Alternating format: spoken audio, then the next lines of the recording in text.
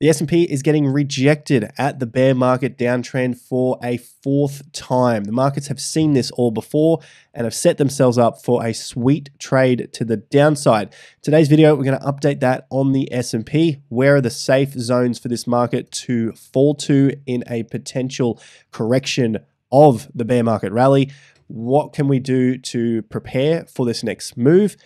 And where do we see Bitcoin moving forward to from this point? Thanks again for joining me on the channel. I hope you're feeling happy and healthy. Quick notice that we have a video sponsor for today. It's Social Good App. I'll mention more about that later in the video. Let's dive into the details right now after you hit that subscribe and like button down below, or I'll remind you again at the end of the video if you want to see what the value is here on the channel. So yesterday's video, we have been covering the rejection points here from the bear market downtrend and what we expect to come over the next quarter. So that's quarter one of 2023. There is always going to be ups and downs within the short term. And it was pretty clear to see yesterday as the market double topped uh, just a couple of days ago now. And it started to fall. And then, of course, overnight, we got that full on rejection and a breaking of the 3900 point level. So as we looked at in yesterday's video, this was a pretty straightforward short sell signal it's not trying to tell people to go and do it, but essentially, this is a clear technical analysis, double top on the daily chart with targets in mind down at these levels around 3,800 to 3,830. So that's basically like a safe level that you could expect a double top to play out to and then hopefully recover from that point and test those higher levels.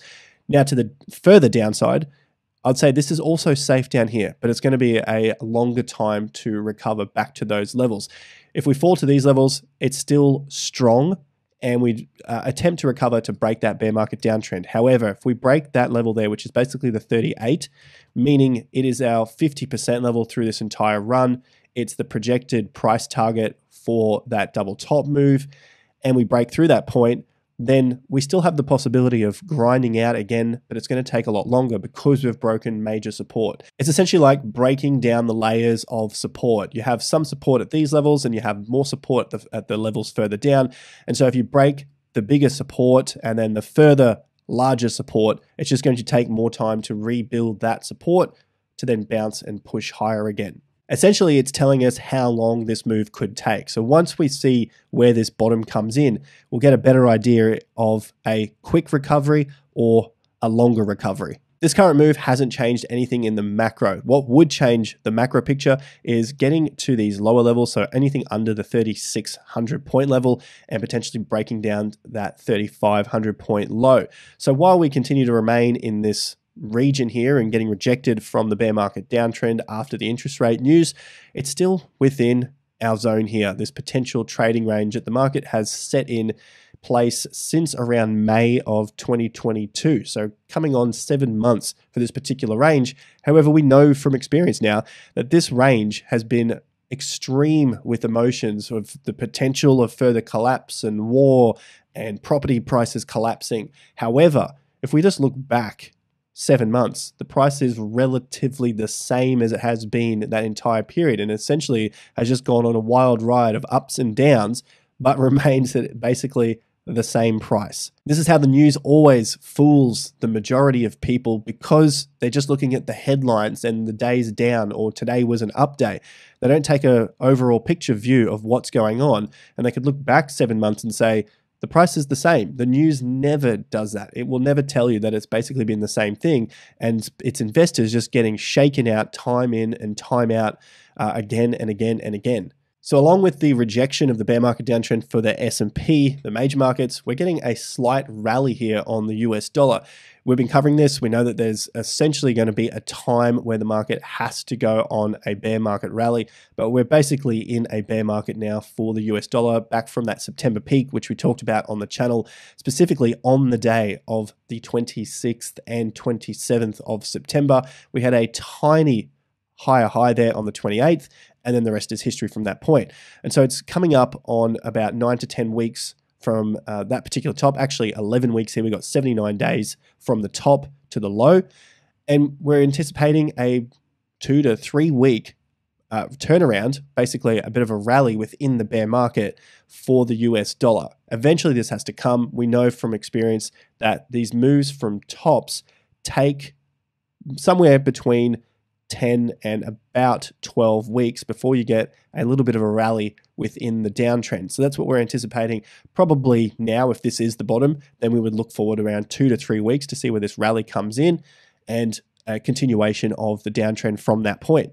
Now, if you guys want to stay up to date with the macroeconomics of the markets, including the stock market, real estate, cryptocurrencies, go and check out the link in the top of the video description right here. This is for our fortnightly newsletter, basically a major report that we go through in more detail around Bitcoin and the real estate market, stuff that we don't have time for here on YouTube. So if that's of interest to you, go and check it out. Link is going to be in the top of the video description or my pinned comment, my official pinned comment, not the scammers out there. So where does that leave Bitcoin? Well, we got rejected yesterday and we've fallen underneath the June low, the $17,600 level. Remember here, the multi-day closes that we needed above that June low.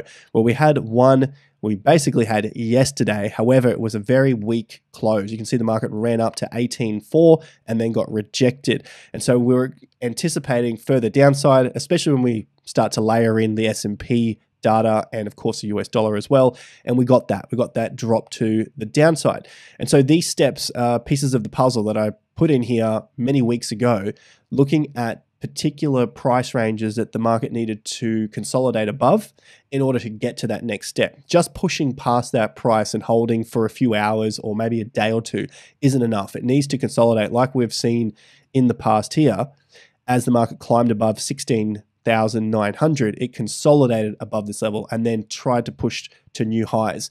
It wasn't able to do it this time, and we've started to fall down again.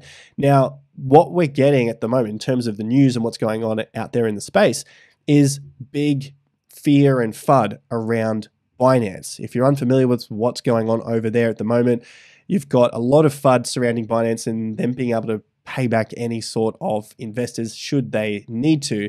Potentially, in the case here of FTX, Binance received $2.1 billion from FTX to basically get out of their position there with FTX before they collapsed.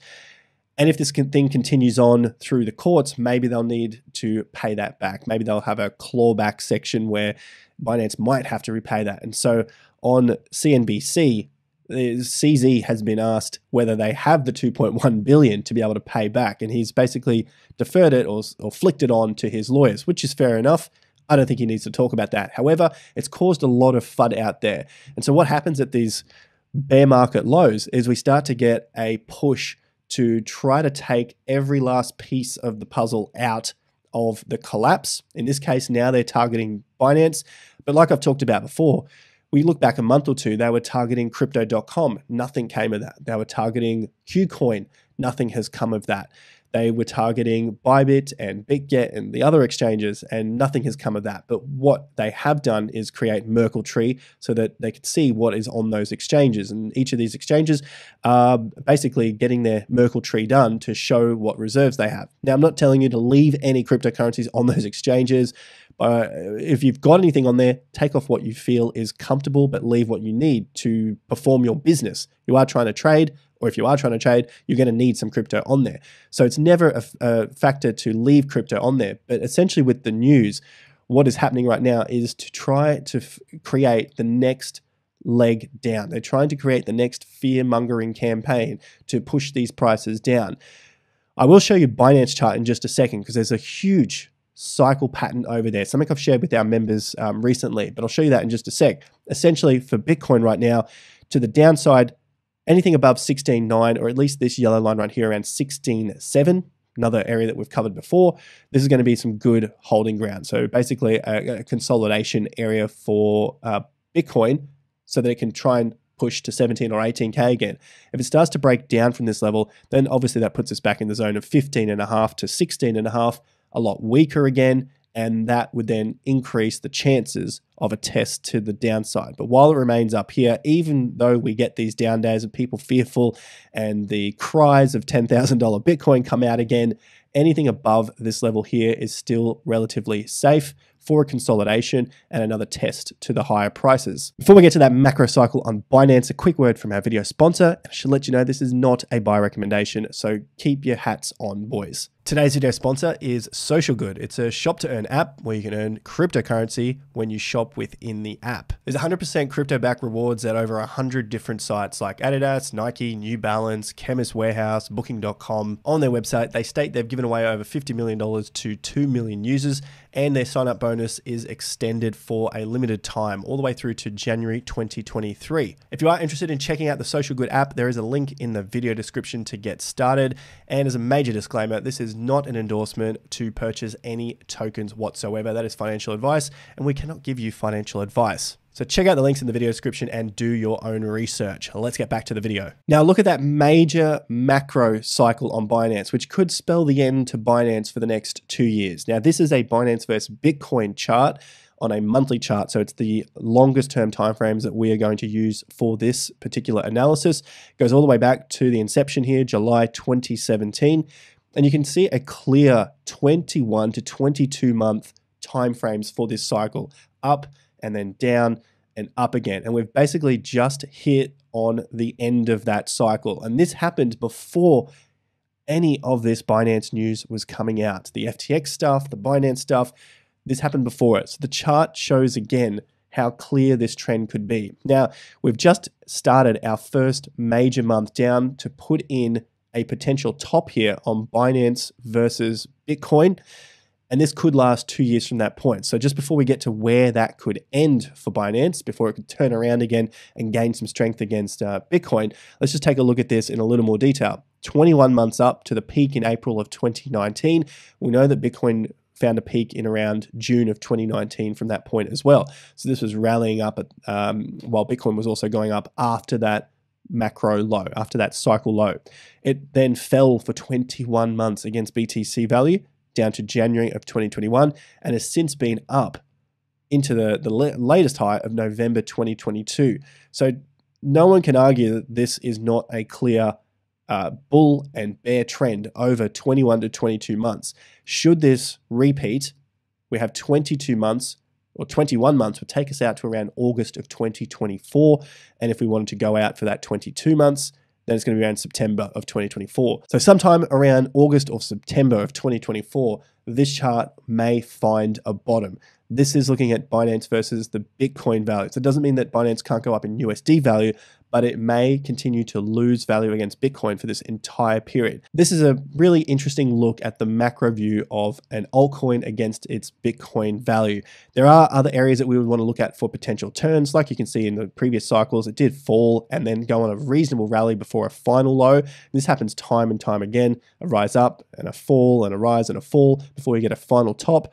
And so we're going to look out for that throughout this two year period until 2024, maybe for a potential buy in for Binance because it has been holding up relatively well against its Bitcoin value, but I think it's going on a major turn at this point. That's it for today's video. Thanks again to today's video sponsor and you guys as well with your comments from the previous videos. Like and subscribe. Check out the videos popping up here on your left hand side, and I'll see you back here at the next video. Until then, peace out.